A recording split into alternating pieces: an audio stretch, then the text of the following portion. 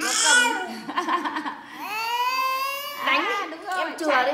Ừ, ngu rồi ngu rồi. cướp đấy cướp đấy cướp đấy. Đen nhỉ làm đen nhỉ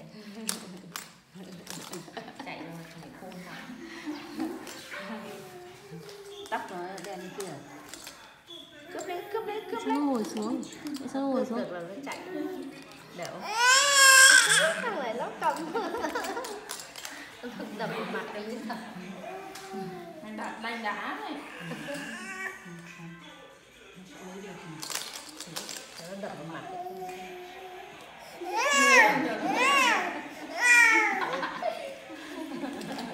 có lấy lại nó flop tại sao nó gần lại? Em chờ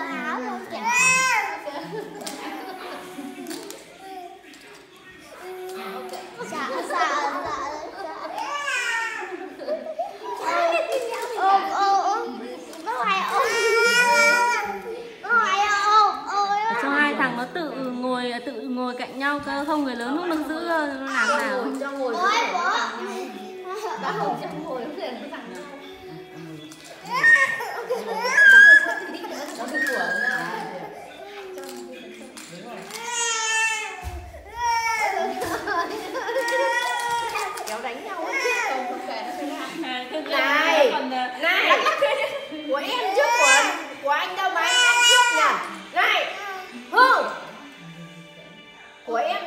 em trước mẹ mẹ bỏ đầu ra đi không được cướp của em. Hương hư quá. Ai lại cướp của em thế?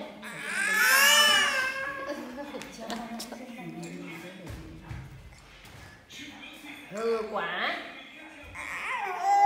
Lấy lại đi. Em lấy lại đi em lấy lại đi nó đổ quá đá nè nè cắt cắt cắt giỏ ra không nhận ăn Ừ, mày thích làm nào mà làm thì vừa cắt cái cắt cho đến chỗ thở đấy. nó kia ăn giỏ lợn đi cho vào dưới ở dưới sàn đường em làm một cơm rồi hết không. Anh ơi anh gọi đâu đây? Ông anh ơi mở cửa ba gõ mở cửa.